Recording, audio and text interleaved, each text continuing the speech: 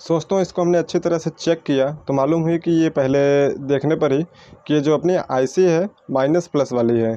तो इस पर जो है कि अपना सत्रह वोल्ट प्लस सत्रह वोल्ट माइनस जो यहाँ पे सत्रह वोल्ट सप्लाई बन रही थी, इसका मतलब यहाँ सत्रह प्लस सत्रह माइनस जब सप्लाई बनेगी तो ये आईसी वर्क करेगी।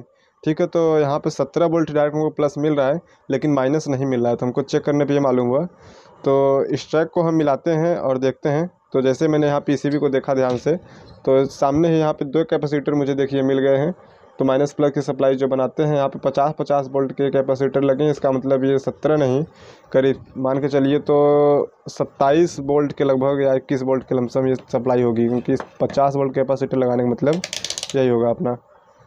तो सप्लाई को चलिए हम चेक करते हैं एक बार अच्छी तरह से तो हमको मालूम हो जाएगा। पिक्चर ट्यूब की अर्थ पे अपना एक ग्राउंड वायर रख देते हैं और यहाँ से हम इसको लगा देते हैं पावर में अपने इस मेन वायर को, ठीक है? तो लगा लेते हैं थोड़ा सा। तो ये हम यहाँ पे इसको लगा रहे हैं स्विच के माध्यम से। ठीक है? तो यहाँ पे हमने इसको लगा लिया है और टीवी अपनी ऑन भी हो चुकी है। यहाँ पे लाइट ये देखिए आ रही थी। तो ये ऑन है। और ऑन कंडीशन में देखिए तो ये अपना मल्टीमीटर रहा यहाँ पर। सप्लाई चेक करते हैं तो देखिए सिर्फ़ यहाँ पे इस पर इस कैपेसिटर पे कोई सप्लाई ही नहीं है। यहाँ पर ये कोई सप्लाई नहीं है, देखिए। सात बोल्ट बस पॉइंट में दिखा रहा है। और इस वाले कैपेसिटर पे देखेंगे तो यहाँ पर ये प्लस पॉइंट पे सोलह बोल्ट की सप्लाई हमको यहाँ पे ये मिल रही है। इसका मतलब ये जो है दोस्तों अपनी माइनस वाली सप्लाई दिक्कत कर रही है तो माइनस का ये रहा, देखिए, ये रजिस्टेंस इन्होंने लगाया है, ये रजिस्टेंस होते हुए डायरेक्ट कैपेसिटर पे गया हुआ है। तो आगे देखते हैं तो ये कैपेस रजिस्टेंस से पहले मिलाते हुए चलते हैं तो ये देखिए ट्रैक यही जाते हुए चली जा रही है अपनी। आज हम अपने इस कैमरे की सहायता से एक एक पतले पतले ट्रैक को मिलाते हुए चले जा रहे हैं। देखिए, ये ट्रैक जाता हुआ मतलब ये पतला बगल वाला है, ये वाला। इसको आराम से आप मिलाइए। मोटा वाला ये ट्रैक जा रहा है। ये देखिए, जाता हुआ कहाँ तक चला गया? यहाँ से यहाँ पर आ गया ये ट्रैक। यहाँ पर आया, यहाँ पर सप्लाई नहीं है। उसके बाद ये अपना डायोड लगा हुआ है। डायोड पर भी कोई सप्लाई नहीं है। तो हो सकता है ये डायोड ख़राब हो, या फिर यहाँ पे डायोड के पहले एक ये फ्यूज की तरह कुछ इन्होंने लगाया है। रेजिस्टेंस भी आप मान सकते हैं कुछ और। तो यहाँ पे चेक करते हैं, हम एसी सप्लाई आ रही है। देखिए, यहाँ पर 21 लिखा हुआ क्या? माइनस इक्कीस वोल्ट तो ये 21 वोल्ट की सप्लाई है। तो इसको हमने एसी 200 वोल्ट की रेंज पे रख दिया है। मल्टीमीटर को ऊपर ही कर लेते हैं। ये देखिए, ऊपर ही रख लिया हमने। और इस पर हम डायरेक्ट एसी चेक करते हैं। तो ये हमको ग्यारह वोल्ट की सप्लाई यहाँ पर ये दिखा रहा है एसी में। ठीक है? उसके पड़ोसी भाई को चेक करते हैं। तो ये पड़ोसी भाई इनका दोनों बराबर ही होना चाहिए। ये क्यों सही से नहीं दिखा पा रहा है? ये सही से रीडिंग नहीं आ पा रही है इसकी। तो यहाँ पर ये हो सकता है रेजिस्टेंस इसका सही हो या फिर कुछ दिक्कत हो सकता है। तो सबसे पहले तो हम यहाँ पे इस रेजिस्टेंस को चेक करते हैं कंटिन्यूटी ये आ रही है या नहीं आ रही है। ठीक है? तो मीटर को बजर रेंज पे करके इसको हम करते हैं बजर मोड पे। सीटी आ गई। ये इसका रेजिस्टेंस देखिए 400 की रीडिंग आ रही है 500 600 ये बढ़ती चली जा रही है। और इस पर चेक करते हैं तो इस पर हमको यहाँ पर ये रीडिंग मिल गई, ठीक है? आगे शॉर्टिंग चेक कर लेते हैं, कोई डायोड वगैरह शॉर्ट माइनस में है, इसका मतलब ये शॉर्ट नहीं है। सप्लाई बनी है उस पर। इस पर भी कोई शॉर्टिंग नहीं है। ये सही है दोस्तों, ये शॉर्ट नहीं है। तो यहाँ पर एक क्या लगा हुआ है, इसको हम निकाल के देखते हैं। इस पीसीबी में से इसको निकालते हैं भाई, ये क्या चीज़ है? वैसे तो जंपर लग रहा है, या फिर रेजिस्टेंस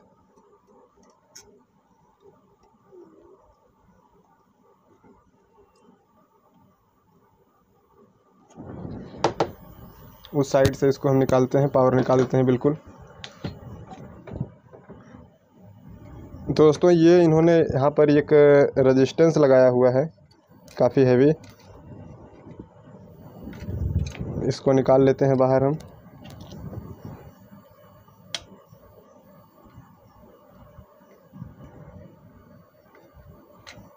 ठीक है, ये बाहर हमने निकाल लिया। इस पर वैल्यू चेक करते हैं तो seven A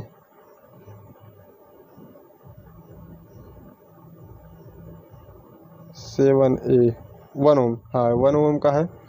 तो यहाँ पर अपने खोजने की ज़रूरत नहीं दोस्तों। अपने पास ये एक पुरानी पीसीबी है ही लेकिन ये क्या, इसका ये रेजिस्टेंस गल चुका है बिल्कुल। तो ये अपने काम का नहीं है। ये देखिए, बिल्कुल यहाँ पर ये गल चुका है। देख सकते हैं। तो ये तो मैटर फेल एक ओम का रेजिस्टेंस है दोस्तों। काफ़ी हैवी में है। तो एक ओम का हम यहाँ पे लगाते हैं रेजिस्टेंस देखते हैं अपने पास कौन सा रेजिस्टेंस है। दोनों को बराबर कर देंगे, दो, बल्कि दोनों निकाल कर हम एक जैसा नया कर देते हैं ताकि लोड बराबर ले दोस्तों। तो हम एक पहले एक ओम का रेजिस्टेंस यहाँ पर निकाल लेते हैं, फिर आपको लगा के दिखाते हैं, क्योंकि वीडियो काफ़ी लंबा होता चला जा रहा है। दोस्तों, यहाँ पर हमने जो है कि एक ओम का रेजिस्टेंस अपने पास नहीं था तो 2.2 ओम का रेजिस्टेंस हमने यहाँ पे पैरेलल में करके जो है कि लगा दिया है, जो अपना 1.1 ओम का हो चुका है। और अब इसको हम लगाते हैं यहाँ पर डायरेक्ट पावर में और देखते हैं ये दोनों सप्लाई अपनी बनती है या नहीं। माइनस प्लस वाली। दोनों को एक बराबर कर दिया है। टीवी अपनी ऑन हो चुकी है। सप्लाई चेक करते हैं तो देखते हैं क्या रिस्पांस निकल कर आता है। मल्टीमीटर आपको दिखाते हुए चलते हैं। ठीक है थोड़ा सा कैमरे को इस तरफ़ से कर लेते हैं तो आपको जो है कि पूरी तरह दिखेगा साफ़। ओके यहाँ पर एक पहले ग्राउंड करते हैं।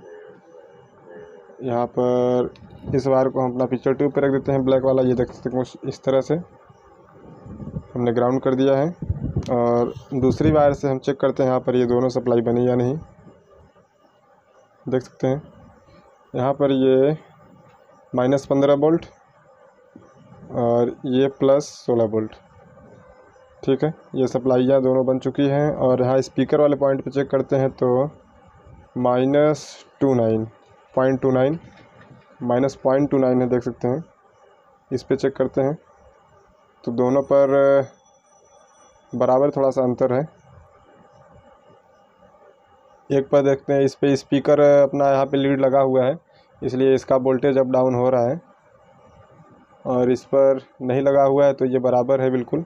लीड लगाते हैं, चेंज करते हैं तो इसका भी जो है कम ज़्यादा होना चाहिए। लगाते हैं यहाँ पर। और अब देखते हैं क्या कहता है ये। इसका भी चेंज होता है कि नहीं सप्लाई? तो देख सकते हैं, इसकी भी सप्लाई यहाँ पर चेंज हो रही है। ठीक है? तो चलिए स्पीकर लगा के देखते हैं और क्या रिस्पांस निकलता है। दोस्तों, यहाँ पर हमने अपने स्पीकर के वायर को ज्वाइंट कर लिया है। कुछ इस तरह से केपिंग वगैरह सब पे कर ली है। और यहाँ पर हम इसको जैक को लगा लेते हैं, लेकिन हमको ध्यान देना है, ये वाला स्पीकर हमको चेंज करना है, ठीक है? क्योंकि ये स्पीकर में से धुआँ निकला था। पहली दफ़ा तो मैंने सोचा कि ये शोल्डर आयरन से निकल रहा है, लेकिन ध्यान दिया तो स्पीकर से निकल रहा था क्योंकि वहाँ पर पंद्रह वोल्ट की सप्लाई चेक करने भी मालूम है कि पंद्रह वोल्ट की सप्लाई बन रही थी अपनी। तो स्पीकर चेंज कर देंगे नहीं तो फिर ये आईसी को अपनी ख़राब करेगा तो दिक्कत हो जाएगी खर्चा लंबा हो जाएगा कस्टमर का। तो चलिए एक बार हम फिर से इसको देख लेते हैं। फ़िलहाल अभी तो मैंने चेक किया है। स्पीकर में से जो है कि बैटरी लगा के मैंने चेक किया तो आवाज़ आ रही थी। बट फिर भी हम चेक कर लेते हैं और उसको बदलना ज़रूरी है दोस्तों। बाद में दिक्कत कर जाएगा वो। ऑन करते हैं इसको और देखते हैं डिस्प्ले किस तरह से आता है। काफ़ी लंबा वीडियो हो चुका है। फ़िलहाल देखते हैं क्या कहता है। फिर धुआँ वगैरह तो नहीं निकला कुछ देख तो नहीं ऐसा तो कुछ नहीं है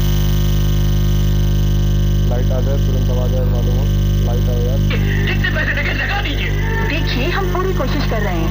सिर्फ़ कोशिश नहीं डॉक्टर चलिए आवाज़ आ चुकी है। थोड़ा सा हम रिमोट से आवाज़ कम करते हैं। अभी तो इस साइड का स्पीकर वर्क कर रहा था। दूसरी साइड का भी चेक कर लेते हैं आवाज़ कम कर दिया है इस साइड का भी स्पीकर सही है। आवाज़ आ रहा है, लेकिन चेंज करना उसको ज़रूरी है, लेकिन चलने देते हैं फ़िलहाल। जल्दी से मैं तुरंत निकाल दिया था। आवाज़ थोड़ा सा कम हुआ है उसका, इसमें ज़्यादा है, थोड़ा सा कम है। सही है, इतना चल जाएगा। ठीक है तो देख सकते हैं आप सब, इतनी लापरवाही दोस्तों इसमें हुई थी कि आईसी बिल्कुल फट चुकी है। हालाँकि माइनस प्लस वाली सप्लाई हो तो ये फट जाती ही है। तो देखते हैं, ये देखिए, ठीक है? तो हम लोग मिलेंगे नए वीडियो में कुछ और नई जानकारी के साथ, दोस्तों। तो इसी तरह के नए नए वीडियो पाने के लिए चैनल को सब्सक्राइब और वीडियो को लाइक करके हमारा एक मोटिवेशन बनाते रहिए, दोस्तों। ठीक है? तो हम लोग मिलेंगे नए वीडियो में कुछ और नई जानकारी के साथ। अगर आपका कोई सवाल हो तो कमेंट ज़रूर करिए, ठीक है, दोस्तों? थैंक्स फॉर वॉचिंग अब मिलेंगे हम नए वीडियो में, दोस्तों। धन्यवाद।